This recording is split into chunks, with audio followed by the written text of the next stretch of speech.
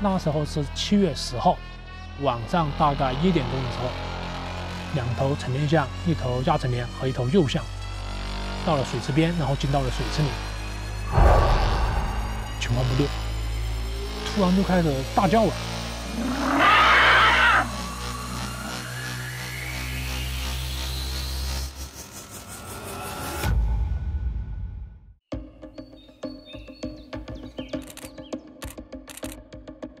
That herd of wandering wild elephants on an epic journey in China. China's elephant population has grown in recent years as a result of conservation efforts. 栖息地承载力却有使限得。象群不断地走出保护区，进入到农田觅食。なぜ象は北上を続けているのでしょうか Where they'll go next, nobody knows. When they'll stop is also unclear. In a massive logistical effort, hundreds of emergency personnel and vehicles have been deployed.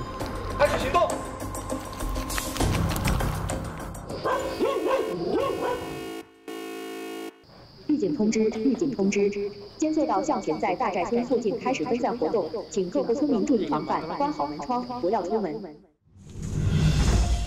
他就是一个巨人，走路呢是没有声音的，会从旁边的树林里突然出现。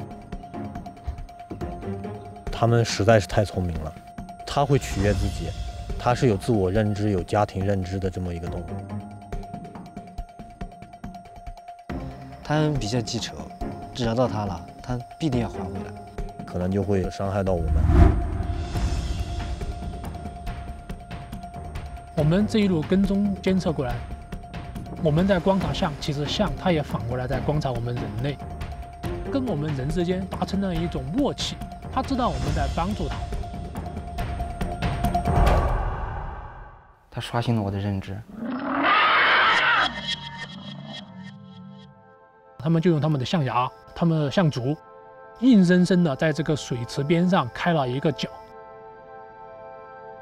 奇迹感觉就发生了一瞬间，这几头落水的象，然后才陆续的从这个水池里出来。